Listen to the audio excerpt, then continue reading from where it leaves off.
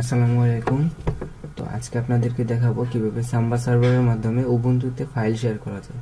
তো এর জন্য আমাকে প্রথমে যে আমার নেটওয়ার্কে কানেক্ট আছি, এই নেটওয়ার্কের আইপি অ্যাড্রেসটি ডায়নামাইক থেকে স্ট্যাটিক করে নিতে হবে। তো চলুন দেখি কীভাবে স্ট্যাটিক করা যায়। এই জন্য আমার যে আইপি অ্যাড্রেসের অপশনটি আছে, এখান থেকে আমি ডিএসসিপি মোড থেকে ম্যানুয়াল করে দেবো এবং একটি আইপি অ্যাড্রেস অ্যাড করে দেবো এবং এটা অবশ্যই আমার রাউটারের যে ডিএসসিপি সার্ভার আছে, সেটার এগেনস্টে হতে হবে।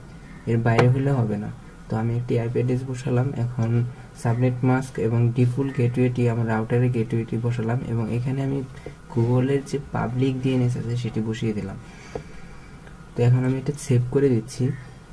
এবার ডিসকানেক্ট করার পর নতুন করে কানেক্ট করলে দেখা যাবে যে আমার নতুন আইপি অ্যাড্রেসটি অ্যাসাইন হয়ে গেছে। তো এখন আমি আমার টার্মিনালে কমান্ডগুলো দেখাবো কীভাবে সাম্বা সার্ভার ইনস্টল করতে হয়। এর জন্য প্রথমে আমাকে উবুন্টু যেটি আছে সেটি আমাকে আপডেট করে নিতে হবে। তো আমি আমার সুবিধার্থে কমান্ডগুলো কপি পেস্ট করছি এবং প্রথমবার সোডো কমান্ডটি দেওয়ার পর আপনাদেরকে ইউজারের পাসওয়ার্ডটি চাবে তো আপনার পাসওয়ার্ড দিয়ে হিট করার পর দেখবেন যে অটোমেটিকলি ডাউনলোড হচ্ছে। আপনাদের নেট কানেকশনের উপর ডিপেন্ড করে এটা কিছু সময় নিতে পারে।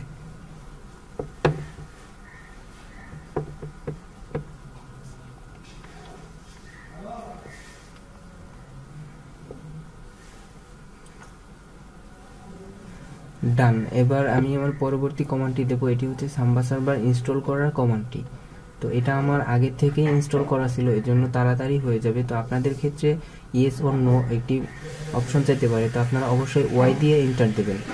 তো এখন আমাকে সাম্বা সার্ভারের জন্য একটি নতুন ইউজার ক্রিয়েট করতে হবে এবং পাসওয়ার্ড সেট করতে হবে। তো এর জন্য আমি এই কমান্ডটি ইউজ করব। তো এখানে ইউজার নেম দিতে হবে। তো আমি ইউজার ইউজার নেমটি আমার যে ওবন্তুর ইউজার আছে, সেটার সাথে মিলিয়ে দিলাম এবং নতুন পাসওয়ার্ড দিয়ে এন্টার করলাম।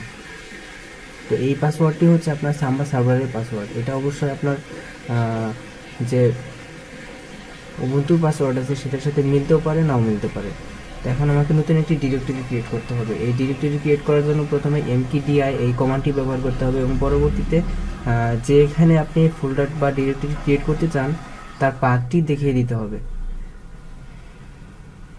তো আমি এখন আমার সরাসরি পাথে চলে যাচ্ছি, এটি ম্যানুয়ালি করার সিস্টেম তো এখন আমি ডেস্কটপে ফোল্ডার ক্রিয়েট করতে চাই, এই জন্য এমকেডিআই আর আমার ফোল্ডারের নাম শেয়ার এফডি ইন্টার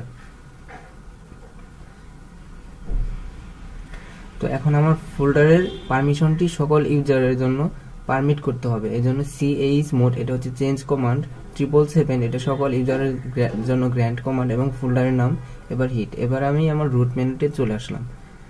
তো রুট মেনু থেকে আমাকে সাম্বার সার্ভার যে ইনস্টল করলাম, সেটার কমান্ড কনফিগার কনফিগারেশন ফাইলটি যে কোনো একটি এডিটরের মাধ্যমে ওপেন করতে হবে। তো আমি এখানে জি এডিটটি ইউজ করেছি। তো জি এডিটে আমাদেরকে কিছু কমান্ড অ্যাড করতে হবে।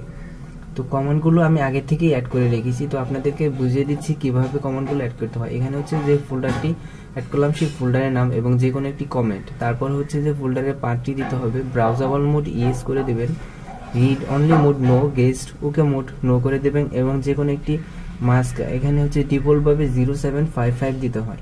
তো কমান্ডগুলো অ্যাড করার পর নর্মালি কন্ট্রোল এস দিয়ে সেভ করে উইন্ডোটি কেটে দিলেই চলবে। তো এরপর আমার যে সাম্বা সার্ভারটি চলতেছে রানিং অবস্থায় আছে, সেটিকে জাস্ট রিস্টার্ট করে দিলেই আমার কমান্ডের কাজগুলো শেষ হয়ে যাবে।